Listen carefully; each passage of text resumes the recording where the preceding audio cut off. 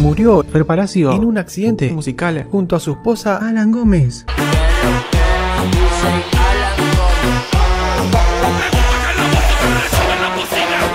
El DJ y productor argentino, quien alcanzó gran reconocimiento gracias a sus remix de cumbia y reggaetón, tuvo un complicado percance en su show ante 250.000 personas.